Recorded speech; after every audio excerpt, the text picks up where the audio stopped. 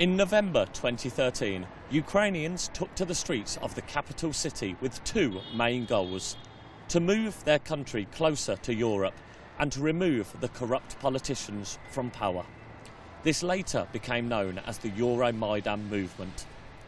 More than one year on, how do residents of the Ukrainian capital rate the new government's efforts in the fight against corruption? Yes, I do believe that it's committed, and we need to support the government, and uh, as well as uh, we need to put more pressure on the government.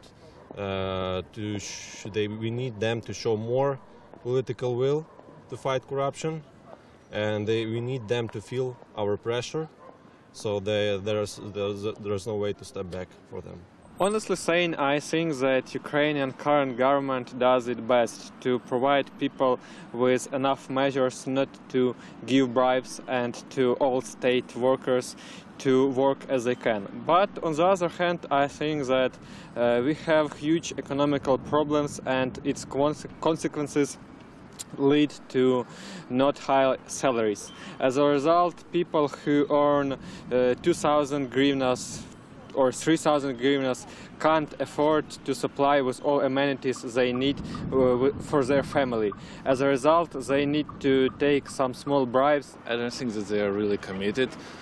They've started some campaigns to fight corruption uh, in our country, and there are a few small changes that I know that, like, uh, police officers do not take uh, so many money that they used to, and some stopped to take uh, to do corruption. To be, but still, it's a long, long way for Ukraine, Ukrainian government to stop corruption. And I hope they would manage to do that. It would make country more democratic and a better place to live. Uh, in my opinion, no. In my, uh, as far as I can see, uh, current steps of, of the our government, uh, they just replacing the old government in old corruption schemes.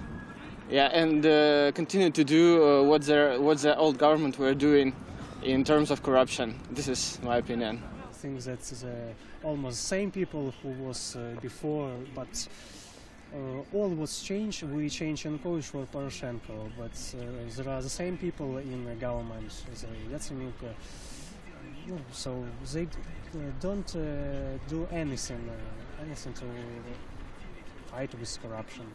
So this is my opinion.